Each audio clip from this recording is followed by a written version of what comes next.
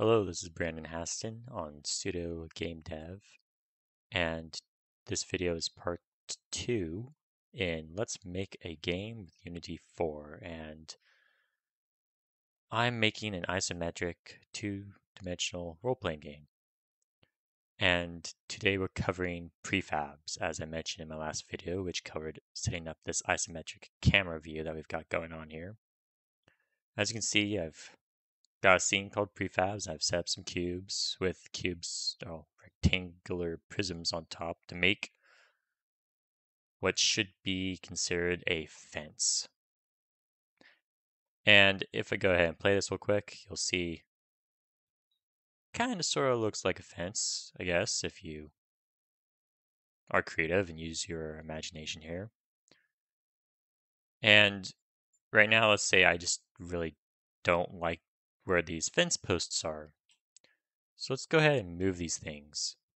And I've kind of already cheated because I tried recording this video once and messed up pretty badly and just tripped up over my words and got lost in what I was saying. So 0.375 was the magic number to get to the edge and get flush with the side here. And I want to do this with each whoops, each and every single one. You can tell this is going to take a while. So let's take a shortcut and make this fence post into a prefab. And we'll do that pretty easily. Let me get rid of a couple of these things, figure out which is which. Here we go. And the cool thing about prefabs is that I can have a clone of this thing. I can copy and paste this prefab all over the place. And if I change the prefab itself, each instance of that prefab, all the clones, they all get updated with the change. So it saves me a lot of time and work. So enough talking, let's get on to the prefabs here. I've made a folder called prefabs in my assets already. And all I'm going to do is right click here, go to create, and then prefab. Awesome. We have a prefab. It's empty, you can see, because we've got this kind of grayed out little box. Let's give it a name. Fence post seems to be the logical name for a fence post. And you can see that we don't really have anything in our prefab. So let's go ahead and turn these two guys into the prefab. All I gotta do is grab the parent object here and drag it onto the prefab, the empty box here. And there you go.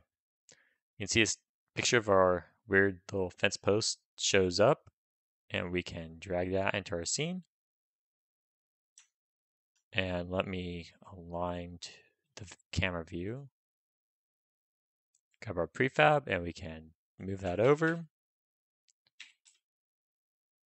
And now we have fences. If I can move that.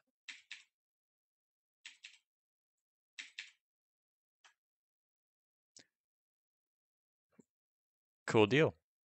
So now that I have these fences and all prefabs, let's say I can't make up my mind and I decide that the fence post would look better back in the center of our tile cube thing.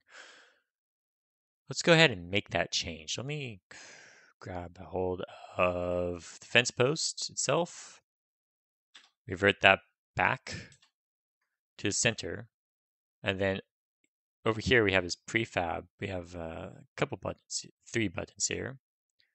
And I'm going to click apply. And you can see all the copies have updated with the new info. So now that we have it where we can edit just a prefab and have all the changes be duplicated or replicated across all the instances of the prefab, what if we want to exclude some of these prefabs? Let's say the corner, because we want the corner of our fence to be special. Um, it's slightly different. It can't really tile in either direction. It's got to join two sides together. So the way we would do that to make it so this this prefab instance isn't part of the group anymore is we would select it as I've done here, go to game object and break prefab instance. you can see the color has changed actually here. All the instances of the prefabs are dark blue and the instance we just broke is now black, like our point light camera target. So it's just its own little single thing off by itself. So let's click one of these prefabs and make a change. Let's just grab the fence and just move it wherever. And apply it.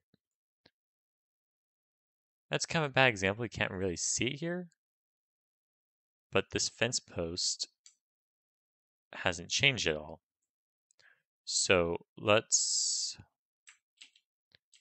move that back and apply it. I think a good example would be to move this like out here. And you can see our little corner fence post remains the same. That's the end of this video. In the next video, I'm going to cover, let's say materials. I think that'll be a nice point to move on to. Textures and materials so we can start actually having something to look at other than this boring gray world. Hope you've enjoyed and I'll see you next time.